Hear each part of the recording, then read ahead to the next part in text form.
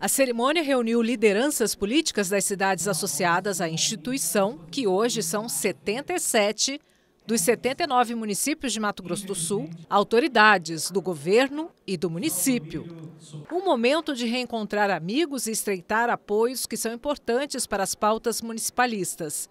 Apoio que vem da bancada estadual e federal. Foi assim que os municípios brasileiros conseguiram, por exemplo, a aprovação da PEC 122 de 2015.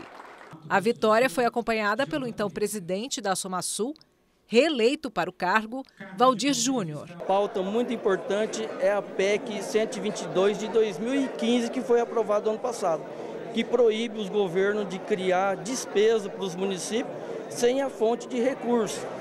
É, em um ato de governo federal ou estadual, você cria uma despesa e quem paga a conta acaba sendo o município. Valdir Júnior, reeleito com unanimidade dos votos, é prefeito de Niuaque.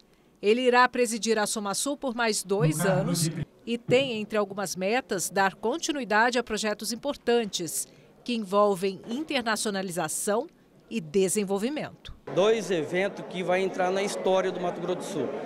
Dois investimentos.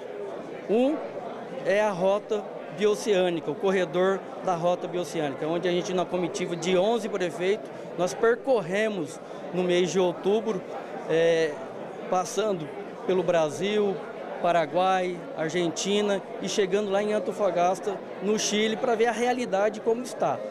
E o outro marco que muito que vai diferenciar e vai ser um avanço muito grande para o estado é o saneamento rural, levar o saneamento para as aldeias indígenas, para os quilombolas, para os assentamentos. Além da posse da diretoria, também foi empossado o Conselho Fiscal da Somasul.